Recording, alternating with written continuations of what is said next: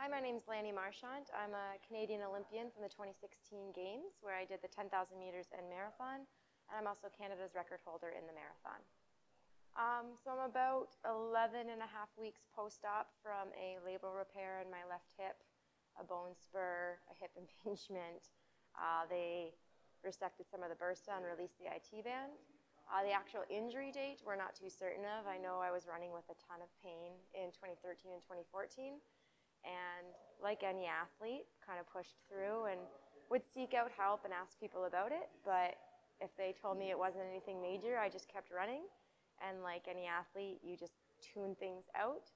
So your body, my body's response was to just shut off everything on the left side. So by the time I was training for the Olympic Games, I couldn't power off of that side. Uh, the good thing is, is that we fixed the crack in the foundation, so now we can rewire the kitchen. That's kind of how I've been putting it.